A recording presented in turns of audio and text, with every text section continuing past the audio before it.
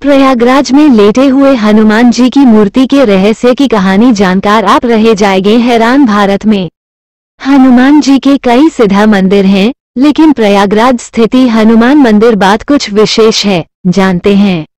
लेटे हुए हनुमान मंदिर की कहानी, उत्तर प्रदेश के प्रयागराज में हनुमान जी का एक ऐसा मंदिर है, जिसकी मान्यता है पूरे देश में है।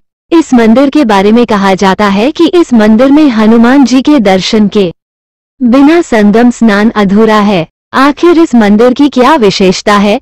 इसके पीछे क्या रहस्य और कहानी है? जानते हैं व्यापारी को दिया हनुमान जी ने सपना एक कहानी के अनुसार। सैकड़ों वर्ष पूर्ण एक धनी व्यापारी हनुमान जी की इस मूर्ति को लेकर जा रहा था, तभी उसकी नाव संगम के तट पर पहुँची और हनुमान जी की मूर्ति में गिर गई। इस व्यापारी ने हनुमान जी की मूर्ति उठाने की तमाम कोशिशें की, लेकिन कोई सफलता नहीं मिली। तब उसे हनुमान जी ने एक रात सपना दिया और कहा, वे इस संगम पर ही रहना चाहते हैं।